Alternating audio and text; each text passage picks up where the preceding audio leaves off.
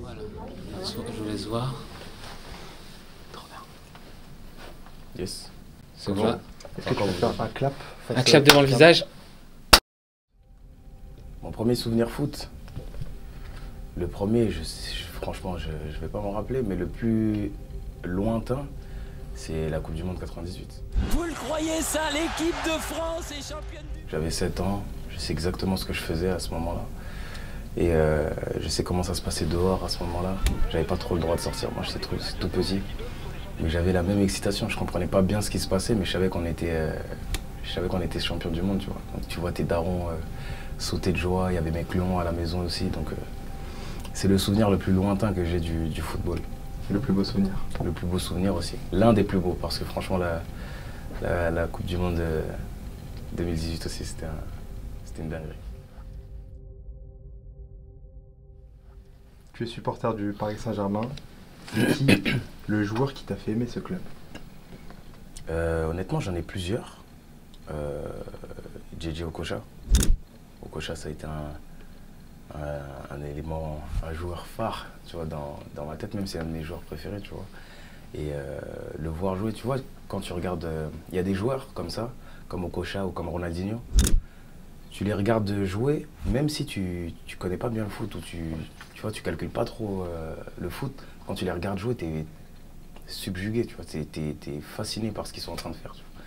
Et Okocha, il, il avait ce- il avait cette patte-là, il avait cette touche-là. Et ensuite, par la suite, Ronaldinho aussi. Ouais, Ronny, c'est, Ouais. ça a marqué Non, c'était trop, Ronaldinho, c'était trop. C'est trop ce joueur, de toute façon. Aujourd'hui, tu as des, des potes un peu dans le vestiaire du Paris Saint-Germain? Ouais, ouais, ouais, je connais, euh, je connais euh, Presnel, Presnel, je connais euh, Ousmane, je connais bien Ousmane, je connais euh, Kylian, je connaissais Marco aussi. Marco, il est plus, il est plus là, mais j'avais, quand même pas mal d'amis, parce que là, l'équipe, elle a beaucoup changé l'équipe, elle a beaucoup changé, mais euh, j'avais quand même pas mal d'amis dans, dans le vestiaire du PSG. ouais. Une anecdote à nous raconter avec un, un joueur de foot Euh, une anecdote. J'ai des anecdotes que je peux pas raconter. Il y a prescription. Il y a prescription. Une récente. je, vais te dire, je vais te dire un, un truc marrant qui est euh, récent. C'est euh, c'est Kylian qui m'a envoyé un message avec son, avec son frère. Ils ont regardé mon, mon documentaire. Ça va bien se passer. Et euh, il, il, euh, y a un- une partie dans, dans, dans- dans ce documentaire, dans le premier épisode, où voilà, je suis, je suis un peu stressé de faire mon premier freestyle, etc. à la radio. Et donc je commence à bégayer, je commence à dire n'importe quoi. Tu vois. Et les, les deux, ils m'ont, ils m'ont envoyé une vidéo en, en se foutant de ma gueule, en fait. Où ils répètent exactement le freestyle quand je suis en train de, je suis en train de, de bégayer. Il m'appelle, il me dit, ouais, bable, les bable, les bable. Voilà, c'est la dernière, on va dire, c'est la dernière anecdote que j'ai de, avec un joueur de foot. Que Ouais. je peux raconter. Tu l'as bien pris. Non, je l'ai bien pris, je l'ai bien pris. Au final, je l'ai bien pris, on se connaît. Cette année, est-ce que c'est la bonne année pour le Paris Saint-Germain de remporter la Ligue des Champions? En tout cas, euh, franchement, ça fait longtemps qu'on n'a pas vu un projet sur le PSG. On n'a pas vu un projet clair. Euh, on n'a pas les résultats vraiment qu'on veut là pour l'instant, en vérité, mais, on voit clairement le projet.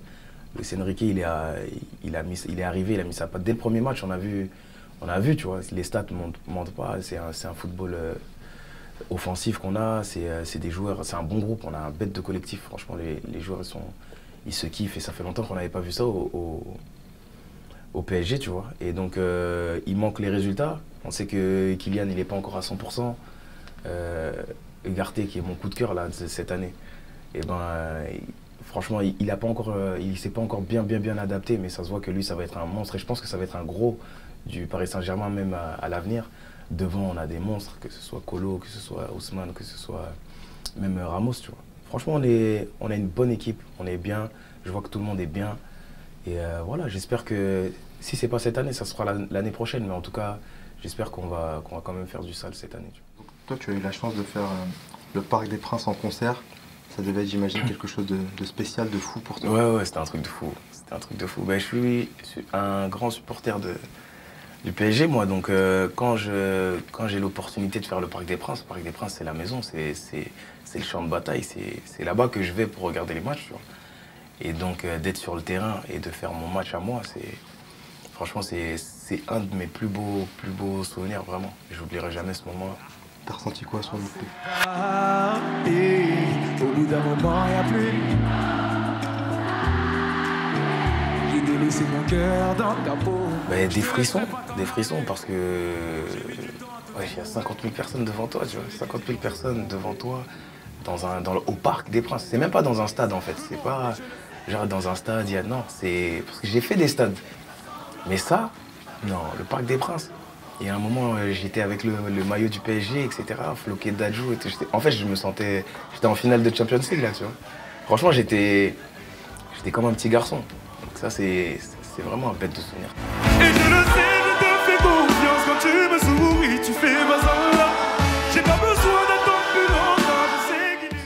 C'est c'est le meilleur concert de ma vie, honnêtement. Que ce soit les souvenirs, que ce soit le, le- le show que j'ai donné, que ce soit le. Je pense que j'ai- j'étais à mon prime à ce moment. Justement, tu as sorti un, un documentaire sur ta vie. Est-ce que tu peux nous en parler? Ouais, j'ai sorti, un- j'ai sorti un documentaire sur, euh, qui raconte un peu mon passé. Le documentaire s'appelle Ça va bien se passer.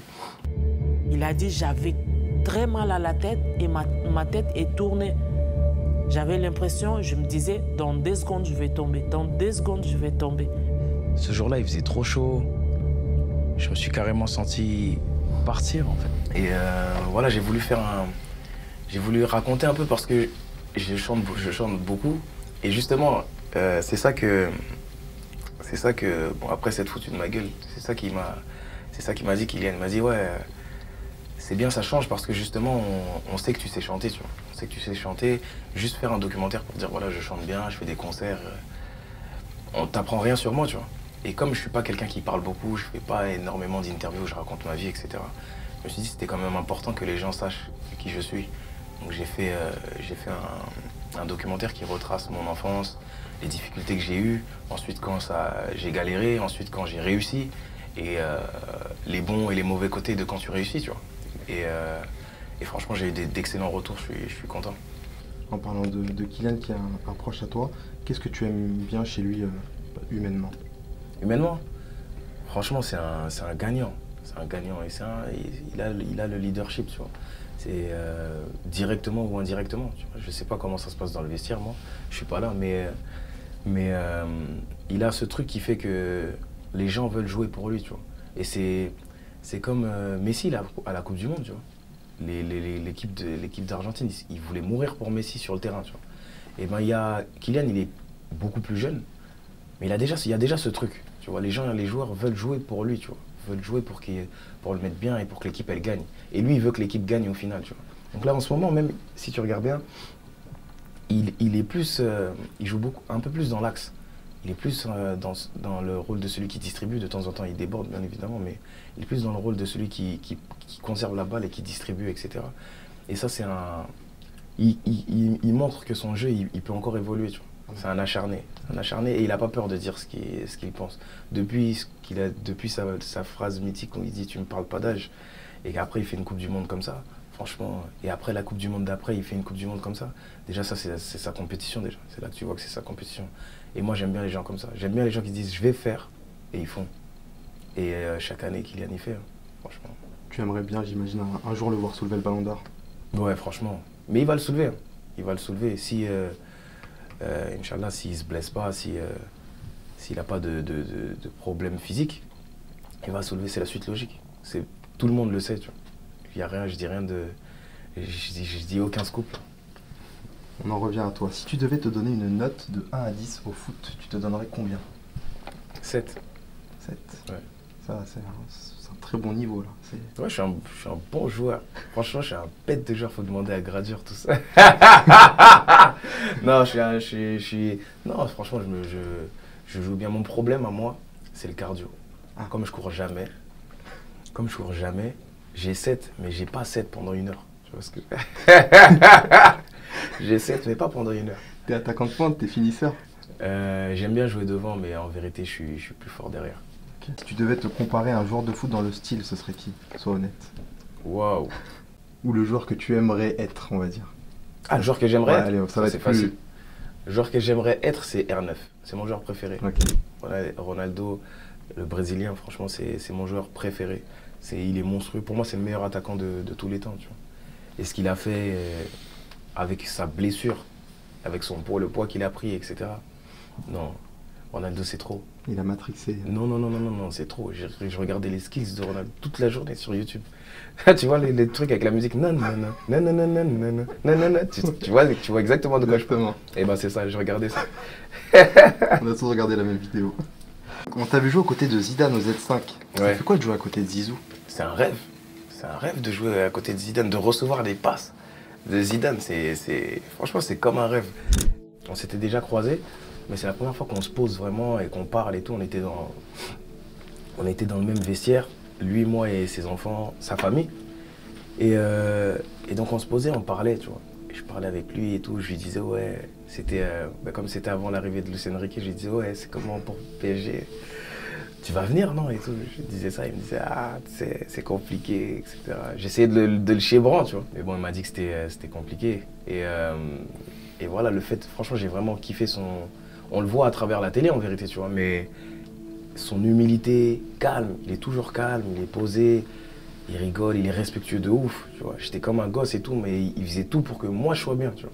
Mais c'est Zidane qui est là, tu vois. C'est historique. Et, euh, et bon, après, on, on a fait, on a joué deux fois. On a joué euh, une fois, euh, je suis allé au Z5, on a joué l'un contre l'autre. Et une fois, on a joué, euh, ben, on a joué ensemble. Il a dit cette fois-ci, euh, je veux que tu sois dans mon équipe, etc. C'est pour ça qu'il m'a fait jouer avec euh, les 98. Franchement, c'était cool. C'est un, un bête de souvenir. Et je lui ai dit la prochaine fois, je ramènerai mon équipe Pour jouer contre Zizou pour jouer contre lui et son équipe. En sérieux, là. Ah, t'as confiance là. Ouais, non, mais attends. c'est, dans la vie, faut y aller. dans la vie, faut y aller, frérot. La RDC s'est qualifiée pour, pour la prochaine Cannes. Pour la prochaine Cannes. C'est quoi ton rapport avec la sélection? Ben, je connais, je connais, je connais bien les joueurs. Moi, je suis congolais, Euh, donc euh, voilà, on se connaît. Euh, ils savent, ils savent, ils savent très bien qui je suis. Je sais très bien qui, qui, qui sont, qui sont les joueurs. On se connaît pas tous, mais ben, celui avec qui je m'entends le mieux, il y a, il y a Chancel, malgré le fait qu'il soit à Marseille. Mais ça reste son gars, c'est la patrie, ça, ça, ça change, bouge pas. Bakambu. Donc voilà, on s'en- on s'entend, super bien. Et le fait qu'ils se soient qualifiés, je leur avais dit, tu vois, j'avais envoyé un message, j'avais dit si vous vous qualifiez, moi je vais à la Côte d'Ivoire directement, je viens, je viens, je viens vous soutenir. Malheureusement, je pouvais pas aller voir les matchs euh, euh, de qualification. Mais là, c'est mort. Je vais me poser à Abidjan et je vais guetter, je vais guetter les matchs. Je vais venir avec mon maillot, je serai là. J'ai déjà prévenu tous les gens. Je pense, je pense qu'on va y aller à une bonne équipe. hein. On va aller à Abidjan à 20, 20, 25, 20, 25 têtes. On va se poser là-bas. Ça va être une très bonne Cannes. Franchement, ça va bien se passer. Et un choix, un choix très compliqué j'imagine, mais on te donne le choix. La RDC gagne la Cannes ou l'équipe de France gagne l'Euro. Là, faut choisir. Y a pas le choix. Euh, je dirais la RDC gagne la Cannes. Parce que c'est bon, la France, c'est bon, ils vont gagner, ils vont gagner après encore, hein, tu vois, ils vont gagner l'Euro, ils vont gagner la Coupe du Monde et tout, c'est bon, tu vois. Là, franchement, j'aimerais bien que la RDC gagne la Cannes, tu vois. Ça serait, ça serait bien. Et que la France aille quand même en finale de Oui, et que la France gagne aussi l'Euro comme ça. ouais, franchement. Tout le monde est heureux. Ouais, exactement. Est-ce que tu joues un peu au nouveau FIFA, au eSport euh Ouais, j'ai commencé, mais comme je l'ai eu avant, je l'ai eu, euh, je l'ai eu, a- on, a réussi à me donner euh, le jeu avant. Je l'avais avant que tout le monde l'ait. Je trouvais pas ça intéressant Ah ouais. de jouer avec. avec, euh, je trouvais pas ça intéressant de jouer tout seul, tu vois. Mais, euh, mais ouais, bien sûr, là c'est parti. euh, j'ai- Il y a un groupe, j'ai un groupe là, club pro, etc. C'est, c'est reparti. Là, je suis, en, je suis en plein taf, mais à partir de dimanche, c'est fini. Tout le monde est briefé, mes enfants sont briefés, ma femme elle est briefée. à partir de dimanche, je suis un joueur de FIFA, c'est fini. Il y a NASA apparemment qui est chaud. Toi, tu te juges comment T'es- Naza, il est trop fort. Franchement, il y a beaucoup de gens sur qui tu peux parler, tu peux dire Ah ouais, mais en fait, lui, une fois, je me rappelle quand je lui ai fait. Naza, il est trop trop fort. Naza, je veux pas jouer contre lui, c'est même pas marrant. Il se la donne trop. Non, c'est pas marrant. Mais lui, il fait que ça aussi. En fait, en fait, en fait, c'est même pas bien parce qu'en vérité, c'est même pas bien pour lui parce qu'en vérité, il fait que ça. Il fait que ça. Va faire de la musique un peu, va faire, euh, va au studio et tout. Et il fait que ça. Et il est trop fort à FIFA et depuis longtemps. Lui, il avait arrêté en- pendant un moment. Il avait arrêté et il s'est fait. euh, il m'avait expliqué ça. Il, il s'est fait laver de ouf quand il avait rejoué à FIFA. Ça faisait longtemps qu'il n'avait pas joué. Quand il s'est fait laver, son ego, il en a pris tellement Ah ouais. un coup qu'après il est, re- il est retourné chez lui. Il a joué, joué, joué, joué, joué. Il est devenu trop fort. NASA, il est trop fort à. Oui. Franchement, c'est le joueur le plus fort que je connaisse. Ok. C'est de, de- franchement sans sans faire crarer. Franchement, NASA, c'est le joueur le plus fort que. Je ne veux, je veux pas jouer contre NASA. Tu vois. Je veux pas jouer contre. Que lui, je veux pas. Et dans la réalité sur le terrain, c'est qui l'artiste le plus chaud? L'artiste le plus Le chaud? plus chaud, ouais, sur le terrain. Le plus, le plus fort. Ah, qui, qui joue le mieux au foot? Ouais. Franchement, j'ai pas joué avec tout le monde. Hein. J'ai pas joué avec beaucoup d'artistes, moi. Euh, j'ai joué avec Grady. Mhm. il est bon. Ouais. Franchement, Grady, il est bon. Euh, et j'ai joué avec qui au foot? En artiste J'ai joué avec Youssoufa. Ouais. J'ai joué avec Youssoufa. Ça va. Euh, Nino, j'ai jamais joué avec lui. Franchement, j'ai pas joué avec beaucoup d'artistes. hein. On joue beaucoup, euh, on joue beaucoup, mais en- avec les artistes, j'ai pas, j'ai pas vraiment joué. J'ai pas vraiment joué. Euh, je pense que c'est bien, c'est marrant. Tu vois, c'est. c'est, euh, C'est bluffant quand même.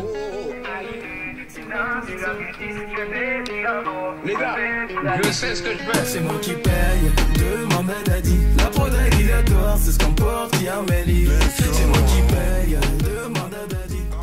On se rapproche de ta voix là, non? Franchement, non. franchement. Franchement, non. Mais euh, franchement, celle-là, celle-là, j'aime pas. J'aime pas trop. Honnêtement, parce que je, je trouve qu'il a pas bien fait. Mais il y a hum, un mec. Attends, je vais te montrer. Tu peux taper, ouais. Il y a un mec que j'ai vu. euh, il a fait. Il se rapproche quand même. Mais il est surtout fort pour imiter Gims. Il a fait un son où il a mis tout le monde. Il a mis NASA, moi, Aya.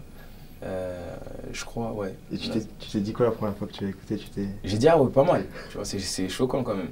Et ce ce qui est lourd euh, euh, avec les trucs comme ça, c'est que euh, il faut connaître l'artiste quand même. Parce qu'il suffit pas d'im- d'imiter la voix, il faut imiter le style. oui. Tu vois, il faut imiter le style, etc. Et c'est pour ça que ça m'a beaucoup choqué euh, qu'il imite, euh, qu'il imite euh, Gims.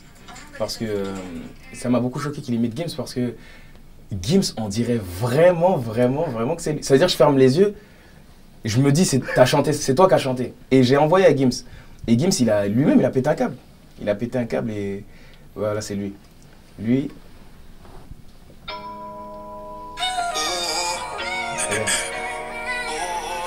T'as vu? Là, on dirait moi, là. Là, on dirait moi. Mais euh, et quand et quand on m'a envoyé ça, on m'a envoyé ça et j'ai dit euh, j'ai dit ouais c'est c'est super lourd, tu vois. Et j'ai écouté les autres, il a bien fait Aya, il a bien fait euh, NASA et surtout Gims, il a super bien fait. Moi, je trouve ça bien, je trouve ça drôle. J'avais envie de le faire moi-même sur un autre artiste, tu vois. Et euh, je trouve que les gens les gens s'amusent bien et, et ça montre à quel point les les gens nous connaissent, tu vois. C'est ça. C'est euh, parce que comme je t'ai dit, c'est pas qu'une question de, de de voix, c'est une question de flow aussi. euh, Voilà, tu t'appropries un flow et tu dis et tu vois un peu ce que les gens aimeraient, tu vois. Ils Mm. aimeraient voir un tel avec un tel, ils aimeraient faire ça, ça, et ils s'amusent à faire à faire tout ça. Franchement, on est là, nous, franchement, les artistes, on est là, on écoute. hein. Il y avait une, une IA qui, a été- qui avait été faite de Angel, Oui. qui avait Oui, fait, oui. euh, qui avait fait Sayen, Ouais. de euh, Huss et, et Gazo. Et ça, et ça avait tellement marché, les gens ils avaient tellement putain cap qu'au final elle le fait sur scène, tu vois, Ouais, par ça. exemple, tu vois. Donc euh, c'est- des choses qui, on va, on commence à rentrer sé- sérieusement dedans, tu vois. Donc, et c'est bien, c'est une bonne chose, j'aime bien moi. Pour terminer, le mot de la fin, Ledge, ce serait quoi pour toi? Le mot de la fin, euh, déjà honnêtement, je suis, je suis super content et honoré de, de faire cette interview. Euh, parce que euh, Téléfoot, je regarde ça depuis petit moi aussi, en vérité.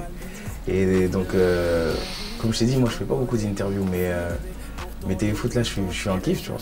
Je me sens comme à l'époque quand Thierry Henry faisait ses interviews et tout, tu vois. Donc là, je suis, je suis content. Et voilà, on espère que le PSG, ça c'est personnel, que le PSG va arracher la Ligue des Champions, on espère que le Congo va arracher la Cannes, on espère que la France va arracher l'Euro. de choisir ce qui compte. C'est soit toi, soit le monde. Si je te dis que je veux les deux, pour moi ça va ensemble. C'est persuadé que je mens. Oh, oh, oh, Ochoa, toxique sucré comme un soda. Je la lèche puis la longe sur le sofa.